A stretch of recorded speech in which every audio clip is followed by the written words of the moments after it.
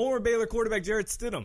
He has informed uh, multiple sources that he has received his release from the school today, or excuse me, yesterday, and has three seasons of eligibility elsewhere and will be able to play again in 2017.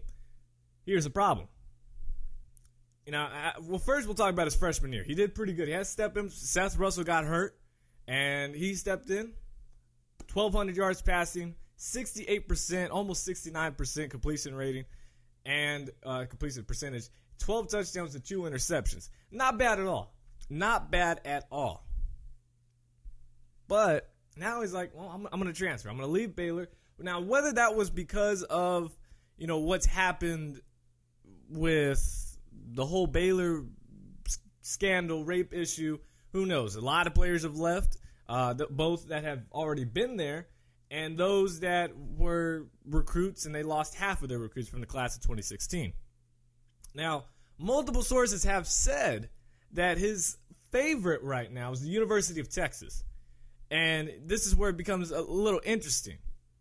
Now, again, if he transfers anywhere, uh, FCS, another FBS program, uh, Power 5, anybody that's not in the Big 12, he will have three seasons of eligibility. And obviously, have to sit out in 2016 this upcoming season unless he goes to FCS or JUCO. Then he could play right right away. But if he goes anywhere else except for the Big 12 schools, he can play for three. He'll have three seasons of eligibility. The problem is if he goes to the University of Texas, if he goes to a Big 12 school, then he'll have two years of eligibility. He'll have to sit out 2016. They'll count it.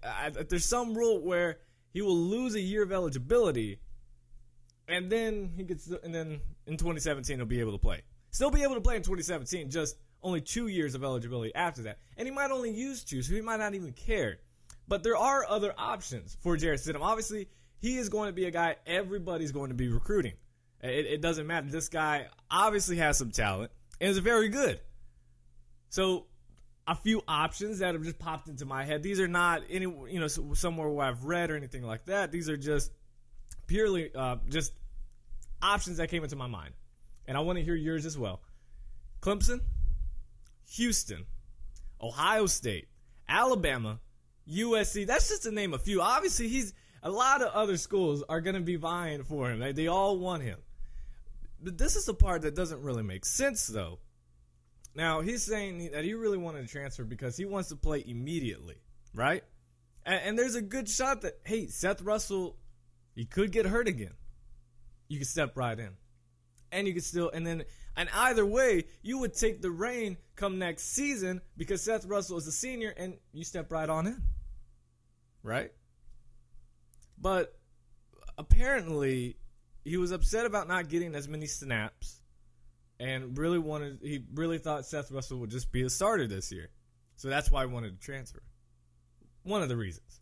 Uh, Baylor interim head coach Jim Grobe said, quote, I don't care if you're a freshman or a senior. If, you, if you've earned the snaps, you're going to get the snaps. But in Jarrett's case, I think if he's felt like going forward, if he ended up like he was last year behind Seth and only got 20, 30% of the snaps, then he'd be wasting a year of eligibility. So that is his that was his consideration, end quote. So if he wants to play immediately, then his only options are to go JUCO or the FCS route.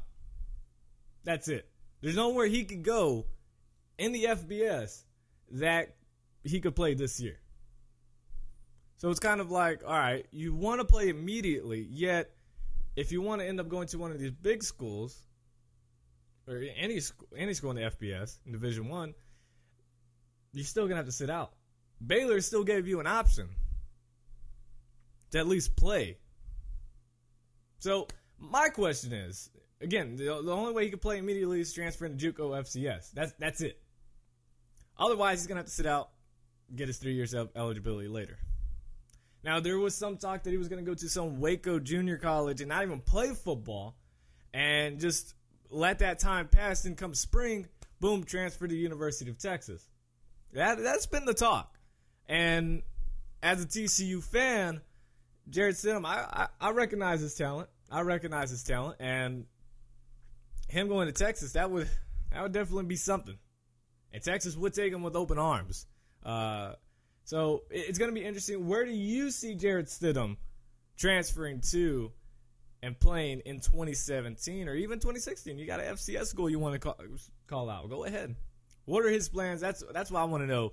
Uh, I think he will just end up transferring. Either he does that Waco Junior College, and then in the spring he'll transfer somewhere else, uh, or and, and, and that means not even play football, which is completely different than you know just staying at Baylor and you possibly could have played, uh, or he just goes ahead and just transfers to a, a big time school. I mean, you think about it. Deshaun Watson, he's most likely gone from Clemson next season, after next season.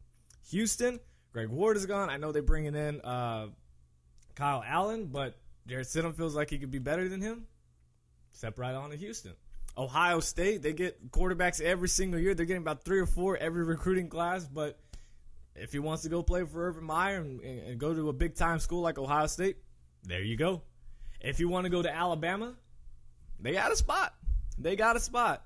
I'm in the Elite 11 Tua. Uh, I can't remember his last name. That guy was good. But Jarrett Stidham might be he's probably he's already a little bit better than him. So could go to Alabama. USC, they don't really have any quarterbacks right now. Could be a spot. And again, there are dozens and dozens of other schools. So don't think if I left your school out that I, I don't see him going there. It's just those are some of the big time schools that will have a quarterback opening here very soon. And depending on what option, excuse me, what uh, offense he wants to play in, I mean, he can really step into a pro style offense, or he can step into a uh, you know, a uh, any type of spread offense, whatever it might be. I don't see like an Oregon type thing. I don't see him doing that. Uh, but there are options for him. Let me know where you guys think he will go.